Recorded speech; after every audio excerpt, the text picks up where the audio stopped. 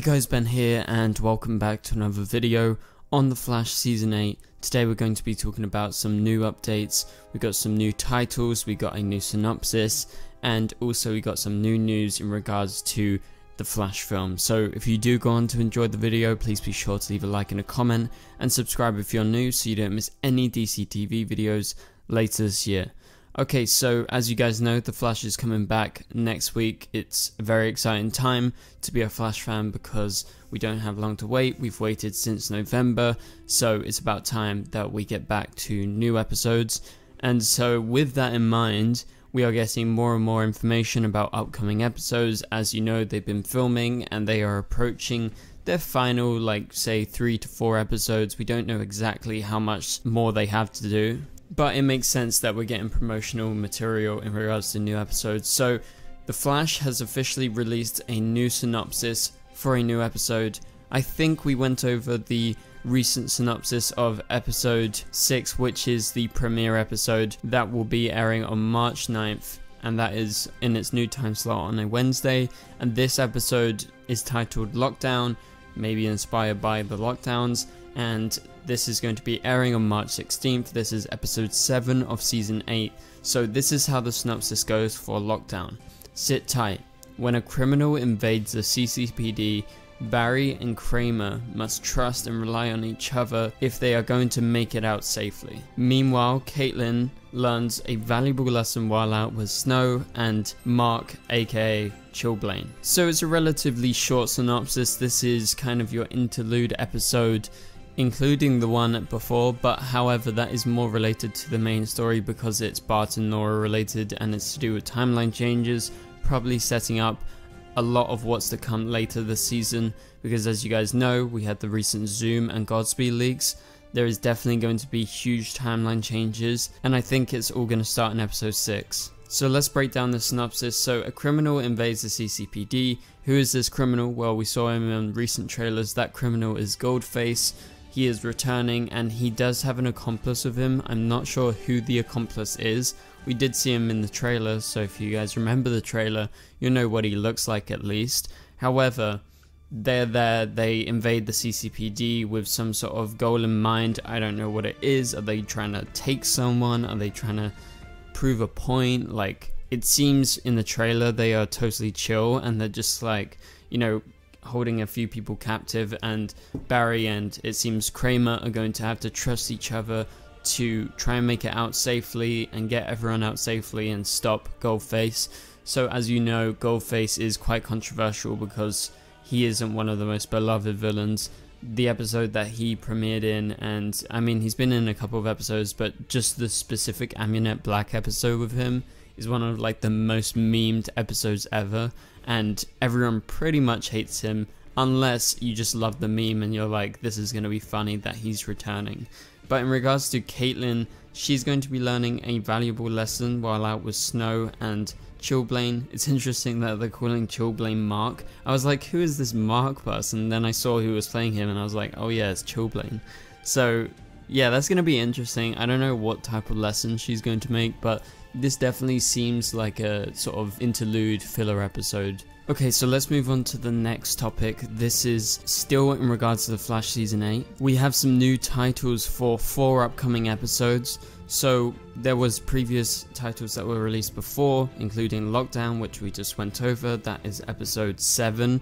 We know that episode 6 is titled Impulsive Excessive Disorder, and now they have released the titles for episode 8, 9, 10, and 11. So we're going to break them down, talk about what they could mean.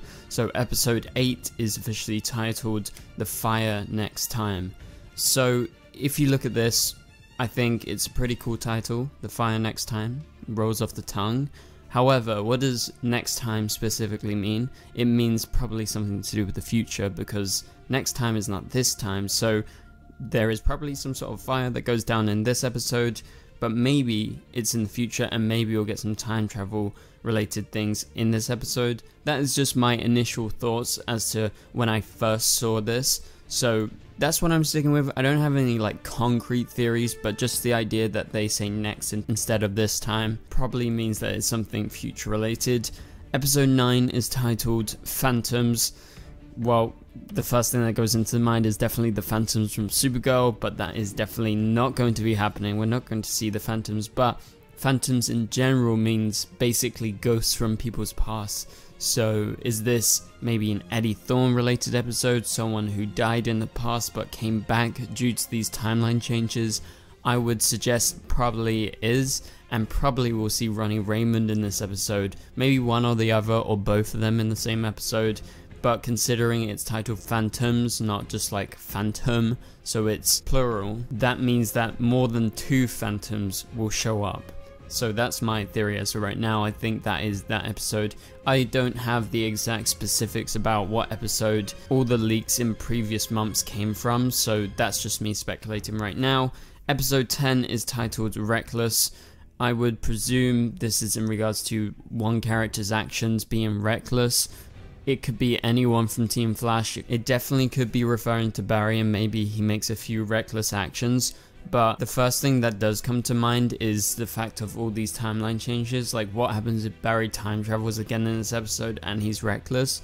Similar to how Bart and Nora were reckless, and we'll see that in episode 6 with them time traveling all over the place and causing all of these retcons and you know the timeline changing as a whole. So i feel like this is the big theme about what these titles are referring to. You know phantoms from the past the fire next time reckless. I feel that it's all related in some way. So episode 11 the final title that they've released is titled resurrection.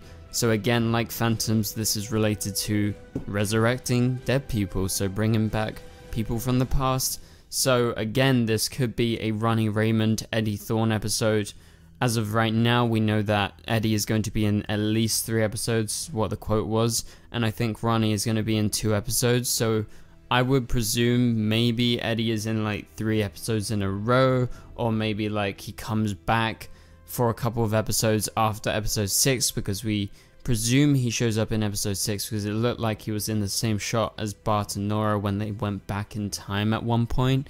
So I would say probably Resurrection is in regards to those two characters, but I guess there's always the chance that it could refer to someone else. But those are my theories for now. Let me know down in the comments below what do you think about all of this. Okay, so this is a very interesting leak in regards to the Flash film. And so they just released this, and obviously it's leaked by a stunt team person, but basically it's a t-shirt for the Flash stunt team who worked on the film and as you know they always do some sort of like specialized t-shirt or specialized thing and so in this case we have three figures here. So we have a bat which symbolizes Batman which symbolizes Michael Keaton. We have Supergirl who is featured quite heavily so you can infer from that she's going to play a big part in this film, and that is definitely Sasha Calle's Supergirl because you can tell by her haircut and just the way that it looks, it's not Melissa's Supergirl. And mysteriously, there is a figure that looks like the Black Flash. It doesn't look like Reverse Flash or anything. Could this be actually Black Flash showing up in the Flash film?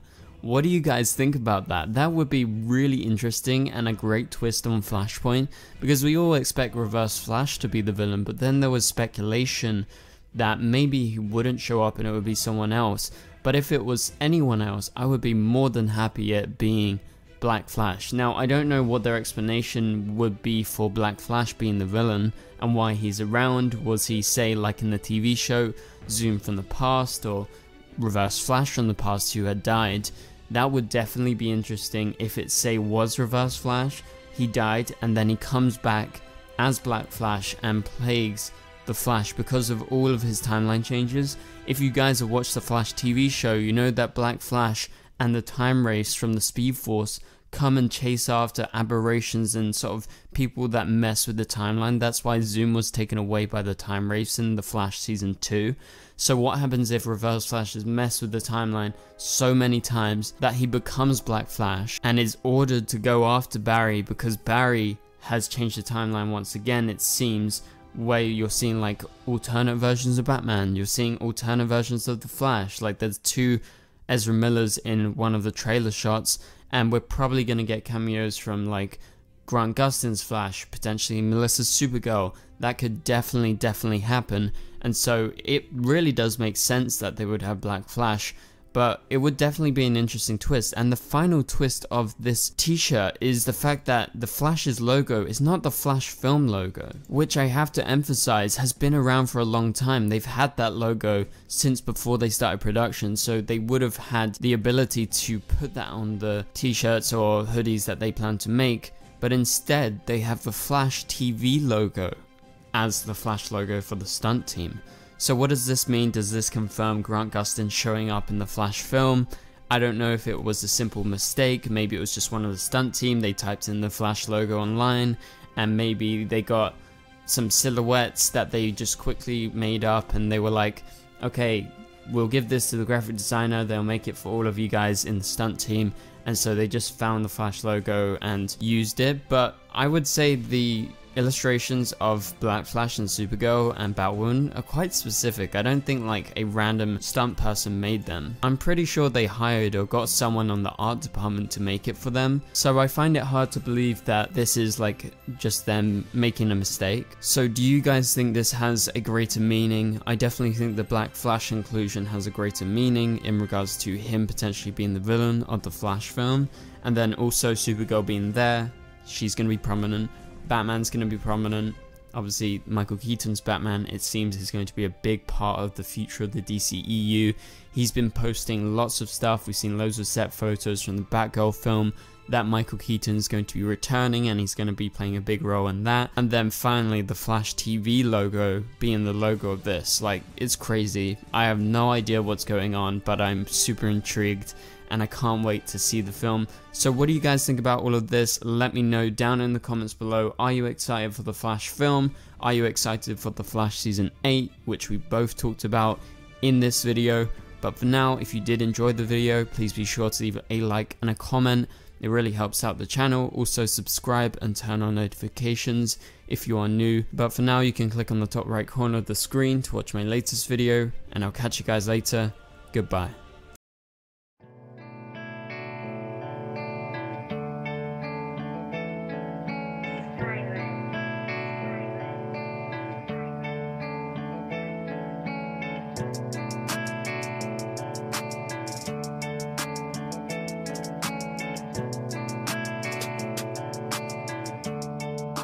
I see red.